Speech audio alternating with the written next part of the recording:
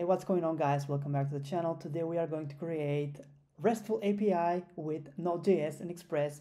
I'm going to show you how to create a small server and return some data quickly.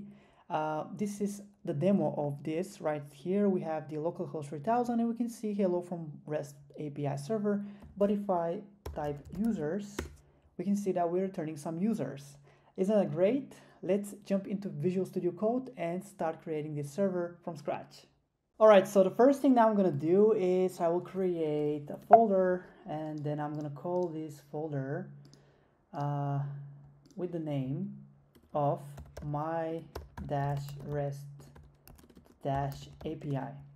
Then I'm gonna open this folder with VS Code and I will start creating our package, that JSON file, which will contain uh, the Express package installed and uh, all the other configuration of the project.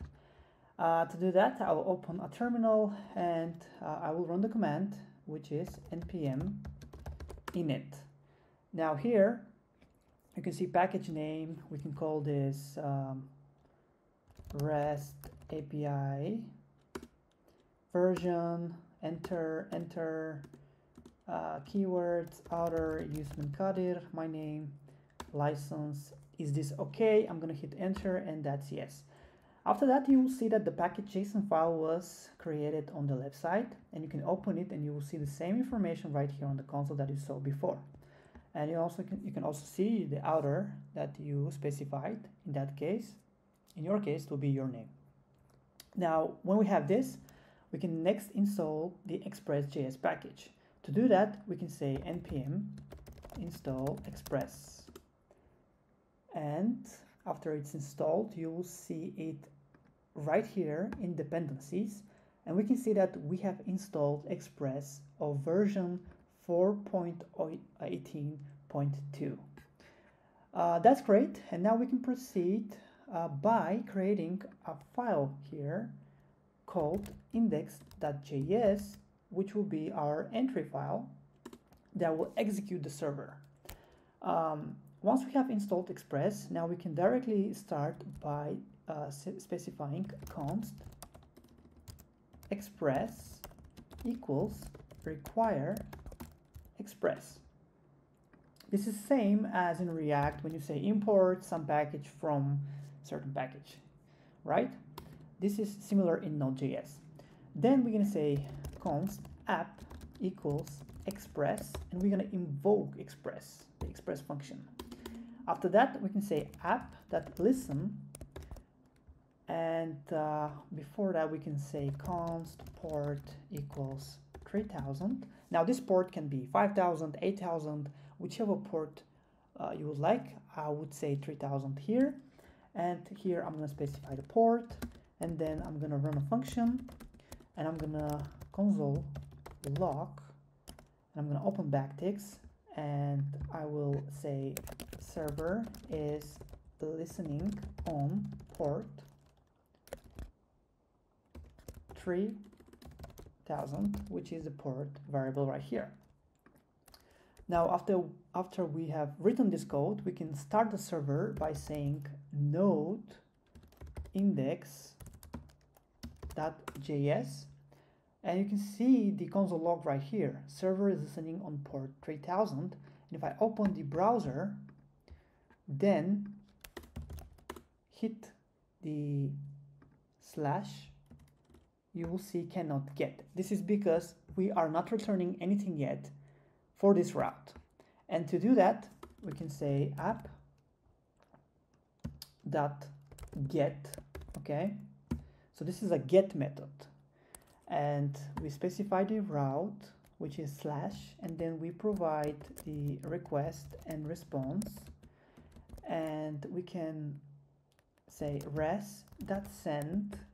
And here we will output an h1 hello from rest AP, API server. And I'm going to close the h1 and save and restart the server by executing that command again, which is node index.js. The server is restarted. I can refresh and we can see immediately hello from REST API server.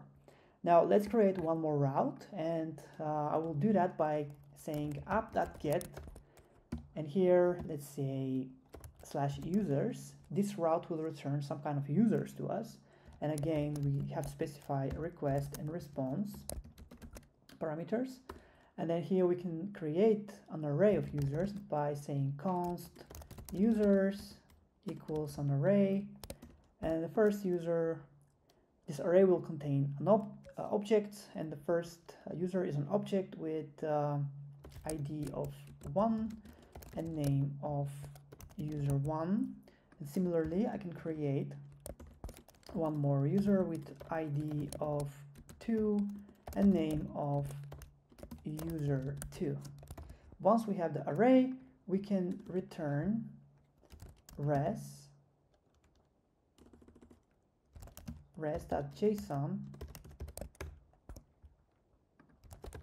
say return res.json or we don't have to specify return we can say res.json users right here. Uh, this will do the magic for us uh, once we save this and again restart the server uh, here you can install if you want uh, a package called uh, nodemon and nodemon will automatically detect when you have a change in the index.js file and you will not have to restart the server over and over. Uh, instead nodemon will refresh your server.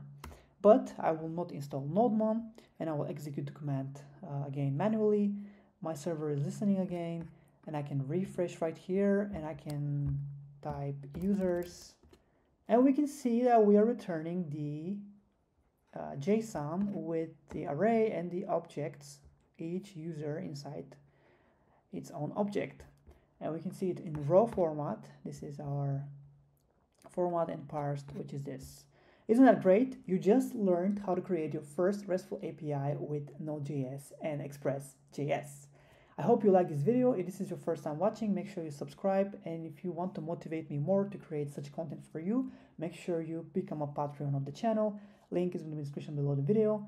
Thank you so much for watching this video and I hope to see you in the future.